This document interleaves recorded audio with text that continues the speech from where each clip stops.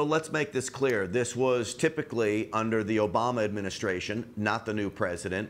Uh, and I have said for many, many years uh, on my radio program and now claiming this on, on this program that in too many times our military members' hands are tied behind the back, their backs, when it comes to rules of engagement with our enemy overseas. And those rules of engagement is what get our military members killed.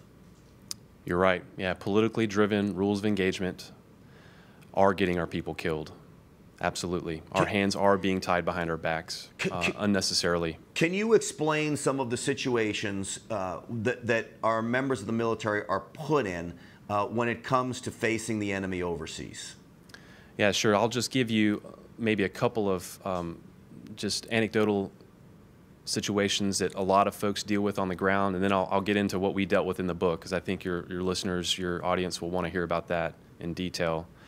So, one of the things that we deal with a lot is a, a fear of collateral damage or civilian casualties. And as you know, our young Marines and soldiers don't get to choose where they go and the enemy that they fight. They just sign up to defend our Constitution, our way of life but we're putting them in a very complex operating environment where the enemy doesn't care if they blow themselves up or other people.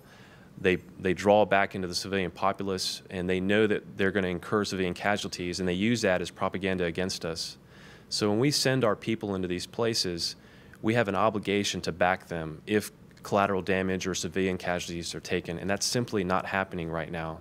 So when it comes to like calling in airstrikes or calling artillery support, or as in my case, um, asking for close air support, we have had to haggle, you know, for minutes when seconds matter, but for minutes on the radio just to get our Air Force, just to get our Army Apache gunships to, to drop missiles or bombs on the enemy as we're being ambushed. This is commonplace.